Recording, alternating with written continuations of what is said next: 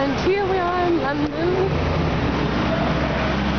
And that is Big Ben. And somewhere, that might be it, not really sure. And uh, there's telephone booth. So cool.